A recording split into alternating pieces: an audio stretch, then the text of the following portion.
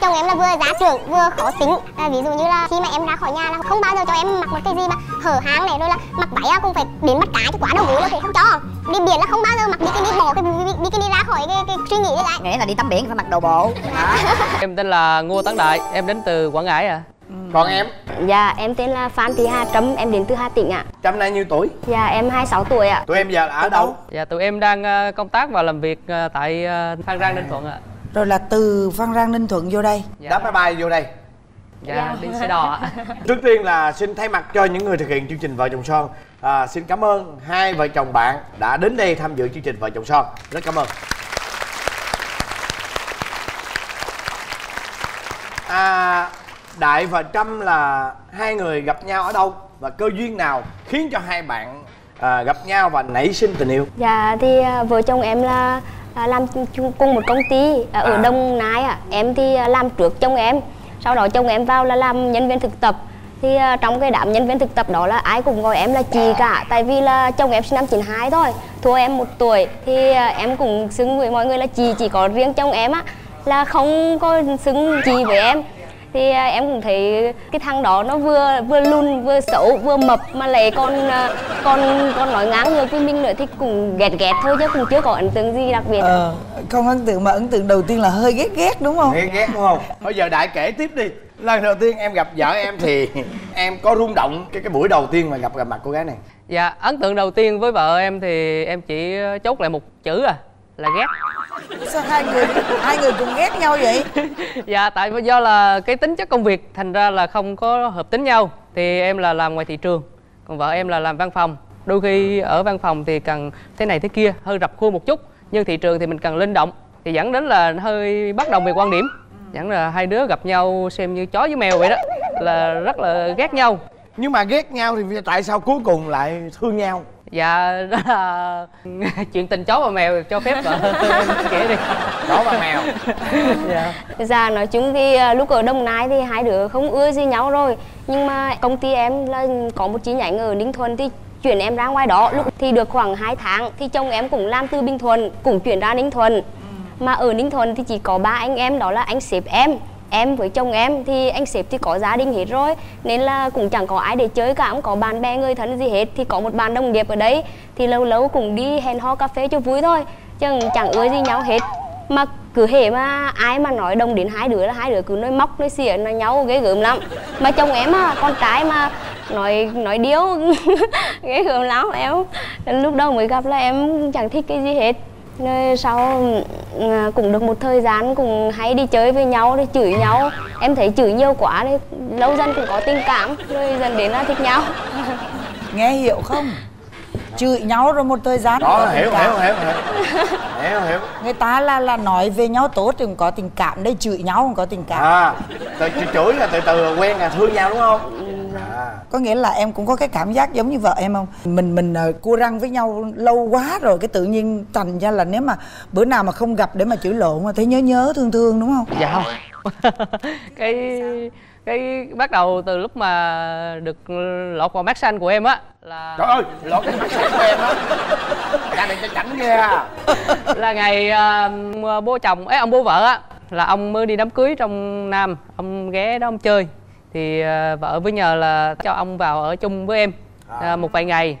Thì à, trong những ngày ông ở chung rồi khi bố ra thì cũng đưa ông đi chơi tham quan các cái điểm du lịch ở ninh thuận.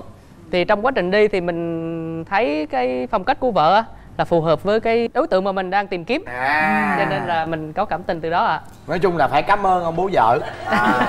Tức là nhìn cái cách mà vợ đối xử với bố Tự nhiên em cảm thấy đúng cái người mà em chọn lựa đúng không? Phải có lý do chứ chưa? Đâu phải tự nhiên mà gây lộn mà mà mà mà yêu nhau được ta à. ừ. Tụi em quen nhau bao lâu thì cưới? dạ chưa tới 2 tháng Trời chưa tới 2 tháng hả ta Sao nhanh dữ vậy dạ cưới sớm là do em hết là tại do là em thấy cô nàng này thì cũng ok Tụi em lấy nhau lâu chưa? Dạ được năm uh, 3 tháng rồi. Có em bé chưa? Dạ chưa Chưa. À để em nói về vấn đề em bé à, thì- rồi tiếp. Nói chung là cũng phải cũng không phải là mê tín nhưng mà em cũng xem rất là nhiều chương trình vợ chồng son trước rồi. Thì em được nghe là anh Quốc Thuận giống như là một ông ông, ông lời nguyền gọi là lời nguyền vậy đó. Dạ. Gọi là như một lời nguyền vậy là hễ là cứ anh chúc cho cặp đôi nào là cặp đôi đó sẽ có, sớm có em bé và có em bé ngay á. Nên là tụi em cũng mong anh Quốc Thuận có thể chúc cho vợ chồng em được như vậy. Trời ơi. Ờ, chết ơi chết ơi thuận ơi. Chết rồi. Ê có khi nào mà ở châu âu người ta thỉnh luôn mà bà? Chúc ra cái chồng nó con ông trời. Ông Phúc. Rồi chút nữa anh sẽ chúc. Nghe. Rồi bây giờ trước khi anh chúc thì anh muốn nghe cái lời tâm sự của các em. Sau khi cưới nhau về thì vợ em cô ấy có tật xấu gì không? Về tật xấu mà nặng thì cũng chưa gọi là ừ, nặng quá. Chỉ có một số cái mà gọi là cũng chưa vừa lòng mình thôi. Nói chung không có nặng quá mà nặng nề thôi đúng không? Dạ. tại vì ờ, sống chung với nhau thì mới thấy ra vấn đề là vợ chồng em còn chưa ổn định được công việc nhà. Là vợ em rất hay xô bì cái vụ công việc nhà. Thì đôi khi em đi làm về á mình mệt mình nằm đó mình bấm điện thoại chờ cơm ăn. Mà mình không xuống phụ bà nấu là chắc chắn là bà cứ cầu nhàu cử nhữ. Giống như ờ, bắt mình phải làm vậy đó. Thì em cảm thấy không thích cái chỗ đó cho lắm. Cầu nhau dạ. Rồi ờ, thứ hai nữa là đôi khi cái cách nói chuyện vợ em á là chưa có hay. Thí dụ đi ví dụ như không có nói như em mà nói không có để cho người khác có cảm tình. Sao nãy giờ anh nghe nói chuyện đâu có gì đâu mà anh không thấy không hay. Dạ tại vì ờ, ở đây là em đang nói là vấn đề ví dụ như trong công việc của hai vợ chồng cùng công ty thì nó có xảy ra một số vấn đề gì đó thì đôi khi cái cách giải quyết em nói chuyện thì người ta nghe đôi khi là cái sai của mình nhưng lại mắc lòng người ta. Nhưng vợ em đôi khi cái sai của người ta nhưng nói người ta lại không chịu. Thì đó là cái cách mình trình bày diễn đạt á. Tại là do thế này này anh khéo không? Dạ anh ấy nói em vậy là do thế này này tại vì á, em là công việc thị trường mà công việc thị trường là thường tiếp xúc với khách hàng mà khách hàng cứ mỗi lần gọi điện đến là phàn nàn thế này thế kia. Mà trong khi là em thấy cái việc phàn nàn đó là chồng em đúng, cho nên là em mới cải tay đối lại với khách hàng. Thì khách hàng sẽ dẫn đến là khách hàng sẽ không ưa gì chồng em mà không lấy hàng của công ty bên em á coi chồng em sẽ mất đi sản lượng mà em đánh kiểm soát được nổi nóng tức là do vì em thương chồng em cho nên là là em mới cãi với họ. Vậy mà chồng em cứ mỗi lần như vậy là về là lá em là nói em không khéo thế này thế kia không giúp đã không giúp được À. anh ấy thôi còn phá anh nữa. Rồi vậy thì cái tật xấu của ông xã em là gì? Ôi cha lấy về rồi em mới biết là quá trời nhiều quá trời nhiều. Ôi quả trời nhiêu quả trời nhiêu chồng em là vừa giá trưởng vừa khó tính. À, ví dụ như là khi mà em ra khỏi nhà là không bao giờ cho em mặc một cái gì mà hở hang này rồi là mặc váy cũng phải đến mắt cá chứ quá đầu gối là cũng không cho. Đi biển là không bao giờ mặc bikini bỏ cái bikini ra khỏi cái, cái suy nghĩ đi cái. Nghĩa là đi tắm biển phải mặc đồ bộ. Đó. Đúng không? dạ đúng. Nhưng mà Trời, nó đúng luôn kìa. Đúng rồi nhưng mà áo là áo phải dày nữa cơ. Đồ bồ mà áo mỏng cũng không cho nữa. Trời ơi. Như vậy là mặc đồ người nhái chứ không được rồi à, đi ăn tiệc là cũng phải kính cổng cao tường đúng không? Dạ ui đi ăn tiệc thì chồng em cứ bắt em phải mặc bộ đồ áo vest này rồi là ờ, nếu mà mặc váy là cũng phải mặc váy kiểu bó sát người rồi là kiểu đến nỗi mà em đi ra đường mà mấy người hàng xóm kêu là như kiểu mẹ của cô dâu vậy đó. Trời ơi phụ huynh của cô dâu em buồn gì đâu con gái ra đường thì cũng mong là đẹp đẹp mặt thì cũng đẹp cho chồng chứ đẹp cho ai mà không cho. Vợ chồng em có bắt em bịt mặt không đẹp mặt thì không? Lúc yêu thì sao? Lúc yêu chẳng thể nói gì hết tại vì yêu cũng được có hai tháng thôi nên là Đúng mỗi rồi. lần đi cà phê hay hẹn hò thì em thích mặc thế nào là mặc. Ôi trước khi mà lấy chồng là đồ em rất là xì tin trẻ con rồi là cũng mặc váy xòe này kia còn từ khi lấy chồng về à chồng chả cho mặc một cái gì liên quan đến váy vóc như vậy hết. Ủa vậy thì ở nhà thì sao? Phải ăn mặc phải kính cổng cao tường giống vậy không? Dạ không ở nhà thì thoải mái. Tưởng đâu bắt mặc đồ bộ rồi chùm mặt nữa rồi đi ngủ có được mặc đầm ngủ không? Chồng em không thích em mặc đầm tí nào hết. Nói là mặc đồ bồ cũng được chứ còn cứ mặc đến đầm váy là nói dẹp mấy cái bồ đó đi. Gì bữa nào xấu. em vừa lòng em đi em đi ngủ em mặc đồ vest. Cho ông vừa lòng đó Không, áo cổ lọ cũng được em. Áo cổ lọ. Áo cổ lọ. Rồi là mặc dài đồ áo áo len áo len nó cổ lọ đó em. Ừ. rồi còn tính xấu gì nữa không? Chồng em cũng có tính sĩ diện cao nữa. Ví dụ trước khi lên nó có nói thôi em nói xấu ấy, anh ít ít thôi đừng có nói nhiều. Với anh Trời. đấy. Rồi là ví dụ như đi ra ra đường mà em có lỡ tay đánh yếu hay là nhẹ nhàng một xíu nha về nhà ông láng ấy ông kêu thế này đấy em về nhà thì em thế nào cũng được ra đường gì mà em đồng tay đồng chân là anh em giữ thể diện gì cho anh hết. Nhưng mà khi ra đường chơi với bạn bè thì em thấy à, thấy chồng em vui vui nên em cứ đánh một cái như vậy. Mà có có một lần em đánh ngay đến đâu á về ông la qua trời dần rồi mấy ngày luôn. Trời ơi. Yêu mà. Rồi bây giờ mong muốn thay thôi đổi em gì đi. nè? Em mong muốn em xã em thay đổi điều gì? À, chồng em còn có một cái tật đó là hút thuốc rất là nhiều nữa Mà đến mức mà em phải nói với anh ấy là Anh thề đi Anh ấy cũng nói rồi nhá Nhưng mà anh không bỏ được. Ừ. Thì em cũng mong là chồng em có thể bỏ được Thôi, cái bây giờ xin cắt ngang cái. Hồi nãy em nói là các em mong muốn đến đây là cũng vì là nhờ anh ờ, chúc em sẽ có được em bé đúng không? Vậy thì bây giờ trước khi anh chúc thì bây giờ chồng em chúc nữa cũng phải hứa tại vì bây giờ á tôi có chúc một ngàn câu chúc đi nữa cũng khó lắm. Tức là phải bớt thuốc cái thuốc đó là một cái nguyên nhân mà chậm có em bé đó. Đúng vậy. Đó. Ừ. nó nghe là thôi bây giờ chồng á bớt hút thuốc đi để mà có em bé. Đó là cái mà vợ mong muốn ha. Rồi bớt gia trưởng lại một chút xíu. Cái thời buổi này á mà chồng gia trưởng là nó cũng bị lỗi thời rồi. Phải sẻ chia phải luôn luôn trong đầu mình phải có một cái bình đẳng với vợ. Thì bỏ được cái tính gia trưởng thì mình sẽ thấy là những cái việc làm của vợ mình nó rất là bình thường thì mình sẽ cảm thấy mình nhẹ đầu á. Tại vì em biết không? Thực ra chị nói nhỏ thôi những người mà có tính gia trưởng là dễ bị suy diễn. Nếu mà không nói ra được thì bực bội rồi hút thuốc. Thì tất cả những cái điều đó nó đều làm em bị ức chế về đầu óc. Cho nên em không thoải mái trong tất cả mọi chuyện. Thì cái vấn đề mà em muốn có con á, là em phải xả hết. Em phải vui vẻ thì mới dễ. Cái đó là chị nói thiệt. Nó đi về tính cách á. Cho nên xả đi em lúc còn chưa muộn. Lớn tuổi hơn xíu nữa là xả cũng không cũng khó nữa. Đó thì giờ chị chỉ muốn vậy thôi. Còn bây giờ anh biên anh chúc nè. Đó. Nhân đây thì tôi cũng muốn nói luôn ờ, không riêng gì với cặp vợ chồng của bạn mà các cặp vợ chồng nếu mà sắp tới mà có đến đây tham gia chương trình mà muốn nhờ ông mụ thuận tôi là chúc có con á thì trước tiên tôi có một yêu cầu là anh chồng đó anh hứa anh phải bỏ thuốc lá thì tôi mới chúc thấy không? Thì giờ thôi nhân đây anh muốn em có một lời hứa với vợ em. Thì ờ, anh cũng hứa với em là anh sẽ cố gắng giảm hút thuốc và sẽ bỏ.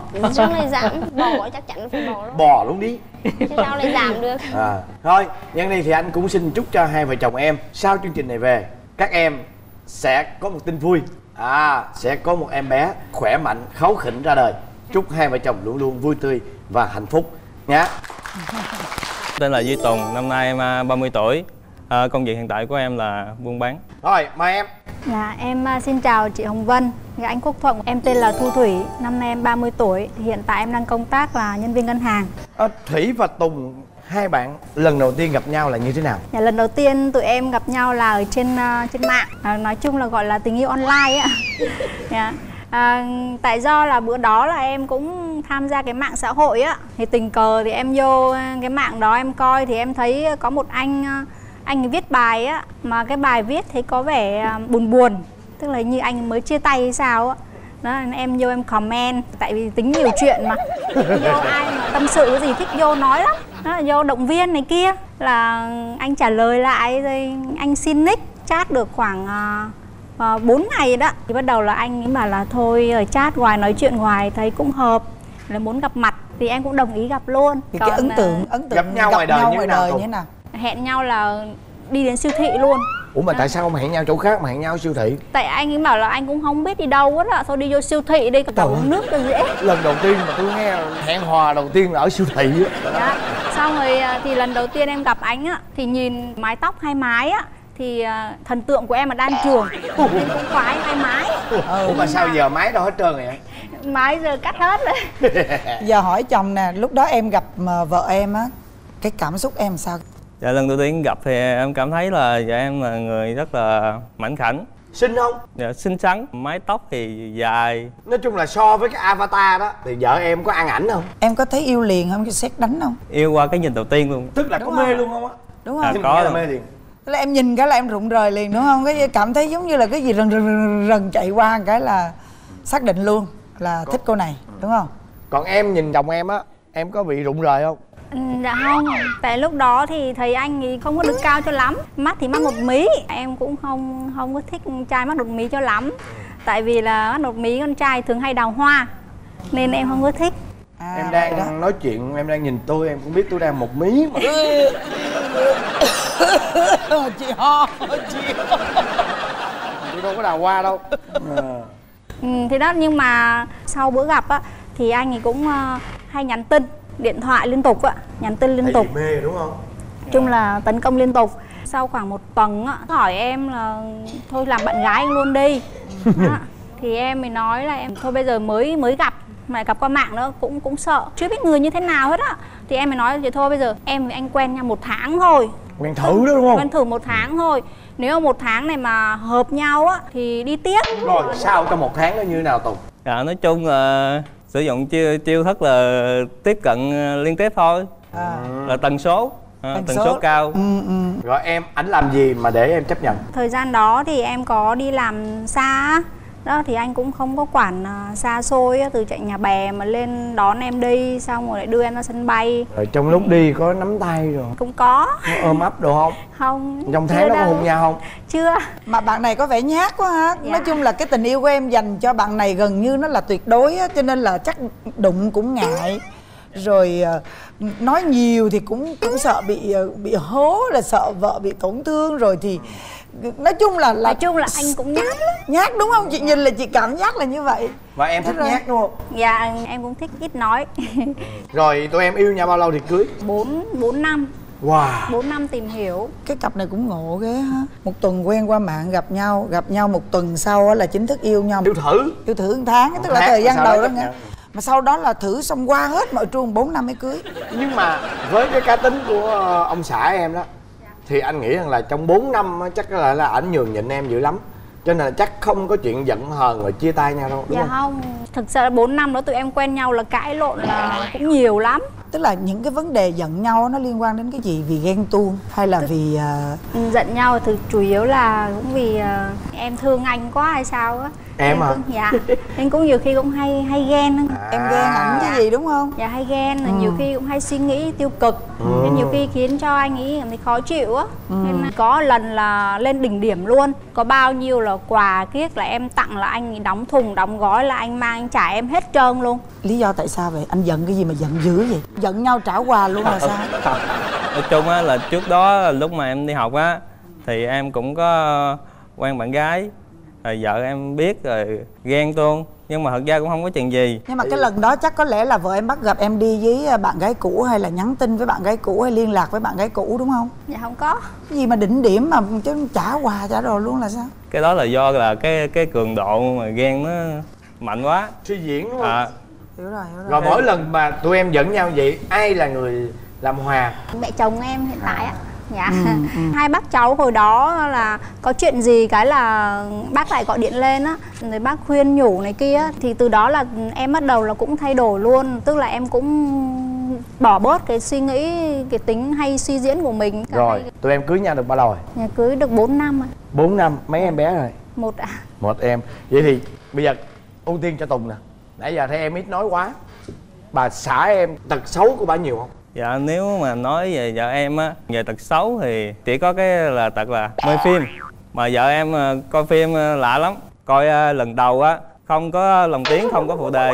Coi lần thứ hai phụ đề tiếng anh xong coi lần thứ ba phụ đề tiếng việt. Là có một bộ phim mà coi ba lần vậy. Wow. Mê tới mức vậy luôn á hả? Mà đa số là coi phim là không có mở tiếng. Sợ Ủa là làm sao? ồn là sợ làm ồn trong nhà. Ủa vậy sao hiểu? Không mở tiếng luôn chỉ đọc phụ đề thôi. Đề. Đề. Còn gì xấu nữa không? Ờ, về nấu ăn thì ờ, không giỏi lắm. Nhưng mà nấu món gì nhưng được. mà rất là ham muốn nấu ăn. Có một lần thì em nói là em thử em ờ, làm bánh thử coi. Làm lần đầu không ra làm gì hết dở quá. Cái xong lén lén đem ra cho chó ăn. Nhưng mà lần sau cái đi siêu thị nói mua về lần này em phải phục thù. Mà đúng là làm ăn lần này ăn chất lượng ăn được. Có cho chó ăn nữa không dạ không. À. đi được rồi đúng không nào? À. Vậy là chỉ có một tật là tật coi phim nhiều thôi ghiền phim quá thôi đúng không? Còn cái gì xấu nữa không? Rồi còn ờ, một chuyện thì nói chung còn không phải xấu mà nói chung là giống như tính chung của phụ nữ á là hay nói nhiều. Nói nhiều là không em mà em ờ, không thích cái đó lắm. Ờ không Thì- thích nói nhiều. ờ, tức là ví dụ mình nói cái gì thì mình chỉ nói một lần thôi. Cho người ta hiểu thôi đúng Ờ, không? Đừng có mình nhây đúng nhắc không? nhiều dạ. Rồi giờ tới em. Ổng có tật xấu gì không? Tại vì thực chất cái lúc mà yêu nhau á, là tụi em hay gây lộn á. Em lúc đó quen là em cũng biết anh là tính là nóng tính rồi. Cũng cục cằn lắm. Thôi bây giờ chúng ta đi thẳng vào cái tật xấu nhưng mà vẫn nóng tính đúng không? đúng rồi nóng tính. nóng tính. Rồi, đó giờ có đập đồ đập cửa gì không? Ờ, đập đồ thì ngày xưa lúc quen á, thì có hay đập điện thoại nhưng bây giờ thì không có đập nữa. Tại chắc do bây giờ mất tiền mua rồi đập lỡ tốn thì mua không có được. Đó giờ có đập em dù cành hoa không? Thì không không đập gì nữa đó. Đập bao nhiêu cái điện thoại rồi? Hồi quen nhau chắc phải đến hơn chục cái. Trời đất ơi. Rồi cái gì nữa? À, còn tính xấu của anh là anh mê chuyện lắm. Mà chuyện bà kiếm phim hiệp. ông mê chuyện. Ờ đó. mê chuyện mà chuyện kiếm hiệp á. Ừ. suốt ngày cầm cái điện thoại anh đọc chuyện mà đọc mà mình nói gì anh không nghe luôn á. Nhiều khi gọi cũng không thèm nghe luôn. Ừ, nhiều lần mình gọi mà anh không nghe xong rồi thì em gọi lần hai lần ba thì bắt đầu quay ra lại nạt. Em bảo là nói nó nhiều nói hoài. Một người thì mê phim một người thì mê chuyện ủa vậy hai đứa không đứa nào mê con hết trơn con thì là mê là chuyện đương nhiên rồi. Là tụi em có bao giờ cãi nhau vì cái chuyện là tôi đang bận phải xem phim tôi đang bận phải coi chuyện mà không ai chăm con không? Dạ không. Chỉ có mỗi cái là anh cũng hay hay la con một xíu. Vậy bây giờ em mong muốn vợ em thay đổi điều gì tài? Dạ nếu mà nói mong muốn thì em mong muốn vợ em ờ, ít coi phim hơn. Rồi biết chắc luôn bà này sẽ mong muốn ông này bớt câu chuyện anh có nói hộ lòng em không? Dạ. Rồi Vậy còn hả? mong muốn điều gì nữa không? À, em cũng muốn anh là nói nhiều hơn xíu. Quan tâm ờ, mọi người á nhưng thì phải nói ra cho người ta biết à, nhiều khi anh ấy quan tâm người khác đấy nhưng mà chả bao giờ nói cứ giữ trong lòng không à. Nên người khác cứ hiểu lầm. Rồi trách móc này kia thì bắt đầu quay ra giận buồn. Ờ Dạ. em có thấy là do chồng em coi chuyện nhiều quá cho nên là bị bay bay đi không? Không có đâu nói thật. Anh có những người bạn rất là mê coi chuyện cho nên đầu óc lúc nào cũng bay đi đọc truyện là tốt cái vấn đề ở Không, đây là chuyện chuyện kiếm gì? hiệp. Thì em phải nói rõ là chuyện kiếm Đó. hiệp Đó, để thì- mọi người đó. nhiều khi nghe không kịp À, cái tưởng là truyện em đọc thì em đọc thôi chứ em không có lậm. Nguyễn không có lầm giống như nhiều người đọc ngôn tình thì suốt ngày đòi lãng mạn sức mướt này. Em thì không có vậy. Phân biệt rõ ràng chuyện thì trong chuyện đời thật là đời thật. Rồi em còn muốn điều gì ở chồng em thay đổi nữa? Cũng bớt nóng tính đi đừng có cục cằn quá. Nhưng mà chồng em có hay thể hiện tình cảm với em không? Cái lúc quen nhau á, thì thì thể hiện rõ nhưng mà lúc lấy về á, thì ít thể hiện lắm. Với ba mẹ hai bên ra. thì như thế nào? Thì anh cũng không có nói ở đâu dùng hành động thôi. Tụi em là ở chung với bên nhà chồng? À, dạ không, hiện tại là em ở chung với à, ba mẹ của em luôn. À em tức ba là mẹ về. hiện giờ là bây giờ đang ở chung với ba mẹ vợ đúng không? Thì giờ chị cũng nghĩ là em thể hiện với vợ rồi tranh thủ thể hiện luôn với à, ba mẹ vợ nó đừng có để trong lòng. Biết là mình thương đó đúng không? Còn giờ cái chuyện mà phim với truyện thì giờ cùng xem bộ phim cùng đọc cũng chuyện đi. Phải khỏe hơn không? Còn không á thì coi chương trình vợ chồng son. Không, chương trình này coi, coi hoài. Rồi như vậy quá vui rồi đúng không? Mỗi người bớt chút xíu và thể hiện. Chút xíu sẽ được thôi đúng không? Rồi chúc cho hai vợ chồng em lúc nào cũng vui vẻ và hạnh phúc viên mãn nhé. À, Em cũng à, cảm ơn à, anh chị khổ quá cái chi hoặc là hay quên đồ à, ví dụ như là chương trình này là em có tham gia chương trình này tôi với địa phương thì mang hai bộ đồ bỏ phụ lên mang theo mà bạn ấy lại quên mất đi quên mất đi để ở nhà Vì vậy thì bạn là công việc rất là nhanh làm rất, rất là nhanh nhưng mà nhiều là kỹ đúng không? chỉ kỹ đó đó thì nó dẫn tới nhiều việc ảnh hưởng đến cái chuyện cái cái tai rồi nè thì cái địa phương đó thì nó chậm lại À, để em nói một chút xíu về vấn đề này à, không biết anh nói có đúng không nha không biết anh nói đúng không nha một phần nữa là lúc mà lấy vợ về mặc dù như vậy chứ là bao giờ cũng dành làm công việc như vậy đúng không? Đúng không?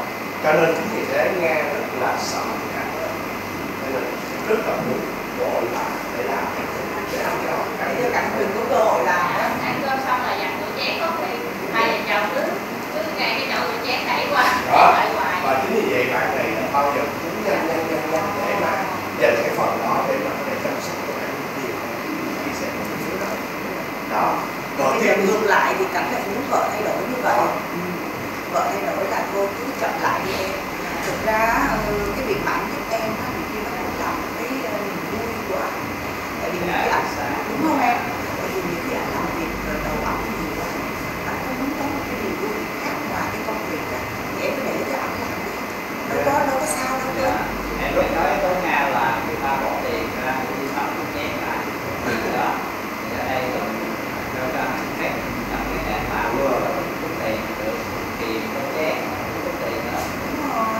Còn mình á thì kệ mình quan sát. Để có cái gì thì mình hỗ trợ kệ. Mình tận hưởng niềm vui của ổng. Đúng vậy. Đó. Tiếp tiếp học tiếp đó. để trong làm chứng mình được phụ. Rồi bây giờ cảnh ơi còn tật xấu gì nữa không anh à, sao nè? đó, đó là chưa chưa thật sự cam kết cái việc mà mình làm á. ví dụ như là tập thể dục chẳng hạn. Được gọi là ngày đầu tiên rất là hào hứng ngày thứ hai cũng còn hào hứng nhưng mà ngày thứ ba bắt lại thì nếu vậy cả thèm chóng chán ha đây nghĩa là ngày đầu ngày hai tập ghê lắm. Tới ngày thứ ba anh được giãn cơ rồi. Thì đó thì cái này nói chung là người ta muốn vợ tập thể dục đều đặn đúng không? Dạ đúng rồi từ ngày xưa là đầu tiên em quen ăn cái tập tạ là mà ăn cho một quả bóng yoga hai quả chứ ờ thì để hai quả luôn Còn hai cái tạ kia biết trôi gì đâu nữa đây cũng là một vận động viên mà vĩ đại đó bây giờ nói tóm lại là ở vợ mình là em mong muốn vợ mình thay đổi điều gì? à thì tức là là em chỉ kỳ vọng thôi cũng có không mong muốn nhiều để mà gọi là stress với mình như vậy thì kỳ vọng là vợ mình là quay lại chăm chút mình là chăm sóc mình hơn cái điều đó là chăm sóc cho mình như là chăm sóc về sức khỏe chăm sóc về cái nhan sắc à, cho nên là mình rất là đơn giản thôi à, phải có cái chăm sóc thì quý bản thân của mình thì à, chỉ có chỉ còn cái đó sức khỏe về tinh thần cũng như sức khỏe về thể chất dạ dạ Điều này khóc biết là đó xúc động nhà nó khóc luôn á cảnh À, nó xúc động lắm chị biết không khi mà em về với nhà á, hôm nay á chị biết không nhìn tối ngày thấy rất là rất là xúc động và khi mà về với cái nhà thì cái nhà cũng là rất là giản dị rất là giản dị mà không không có gì đó rất là tất bật luôn đó. và cái điều mà cảm động của nhà đó là anh nghĩ là đó là cái điều tốt rồi giờ tới nghe đó. Sao? Tật xấu anh là cái gì? Động quá nói được. Biết sao thôi em xúc động em cứ em em cứ khóc đi. Chơi nó không bị gì nó ngăn những cái dòng nước mắt tại vì cái xúc động này em cũng làm cái sự hạnh phúc là bởi vì thực ra là chồng mình á, có một sự là quan tâm yêu mình rất là quan tâm cho mình nhưng trong đó nó cũng có những cái ờ, mình nghĩ về cái hoàn cảnh của mình và mình nghĩ là mình sẽ không thể thực hiện được những cái mà chồng mình mong muốn bởi vì mình rất nhiều thứ mà mình không thể vượt qua được đó ví dụ như là đó đúng không em là đôi mắt của chồng em là nói chung là em là cái biểu tượng cho con trai của em để tất cả mọi chuyện và chị hiểu được cái, cái suy nghĩ của em nhưng mà như vậy là tôi tại vì mình không muốn tại vì mình nghĩ là mình mình có cái như vậy cũng được rồi anh cũng đâu thiếu mình đâu mà mình cần phải ờ, trau chuốt mình cần xe xua làm gì trong trong cái đó mình cứ để thời gian đó hoặc là uh, tiền bạc đó để mình lo cho chồng mình lo cho con mình. Thì hay hơn ví dụ đã trong đời em nghĩ vậy nhưng mà chị nghĩ là cũng chưa đúng lắm đâu tại vì em em nhớ là có một người đàn ông nhỏ trong gia đình em đó là thằng con trai của em nó cần phải có cái cảm nhận ờ, với mẹ mình như sau mẹ mình phải là à, những người mẹ của những người đàn ông ha ví dụ như là cái à, mẹ của bạn nó là mẹ đánh son lên đánh son mẹ xây dựng hơn mẹ uống tóc mẹ hay mặc đồng ví dụ vậy nó cũng muốn mẹ mình như vậy đó là một cái cái thứ hai là cảm muốn rằng cái đứa con trai á, nó phải cảm thấy rằng mẹ mình là người hạnh phúc thì như vậy nó sẽ yêu nó sẽ yêu thương cái gia đình của nó hơn và nó thấy rằng là à, vì mẹ hạnh phúc với với cha cho nên mẹ mới làm điều như vậy. Mẹ mới đau thuốc mẹ mới lo cho bản thân như vậy. Chứ không mà thì cái cảm nhận của nó nó sẽ thấy là một mẹ chắn đầu nó sao mà lúc nào thì mẹ cũng không có chịu lo gì cho bản thân. Đó mà không biết cái gì đó lo không nhẹ nó rất là hay nó sẽ so sánh với mọi thứ và có đôi khi là con nó nói với thôi. Nếu nó không nói để trong bụng thôi. Đó nhớ nha em. Đúng không cảm ơn. Dạ. đó. Có đúng ý của em đúng không? Dạ.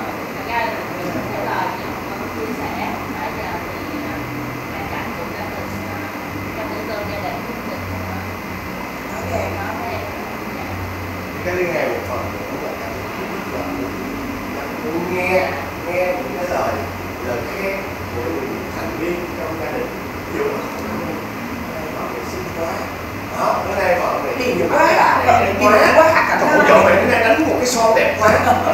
Đúng không cảnh? Dạ, đâu đó, nghe dạ, dạ. mình nghe những cái lời khen của các thành viên trong gia đình. Thậm chí hàng xóm luôn khen vợ mình đẹp mình cảm hạnh phúc. Đúng chưa? Dạ. thôi bây giờ tới tới nghe đó. Ừ. em khui tật xấu của cảnh đi. Anh anh bữa bữa trước anh không hỏi vụ này. Nghe. À, trong gia đình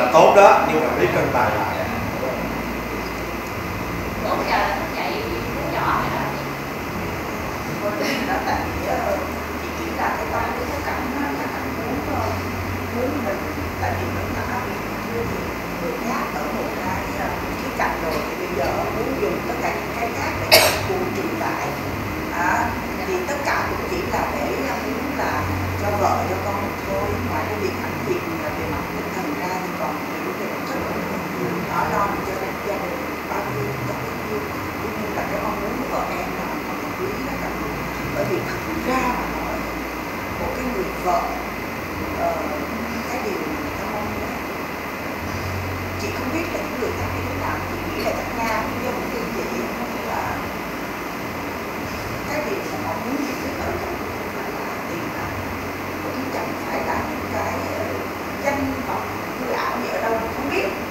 Theo tưởng đó sinh mệnh người ở bên cạnh chồng càng nhiều càng tốt. Tức là cái thời gian để dành cho nhau bao nhiêu cũng không thể mua được cái sức khỏe của mình. Mà chị nghĩ là như vậy cho nên thôi à, hai chồng mặt đời rất là cảm lạnh cố gắng dành thời gian nhiều cho vợ cho mình giúp nhưng dạ. một phần nữa là cảm tạo cái tấm gương không bao giờ chịu hay là dừng lại.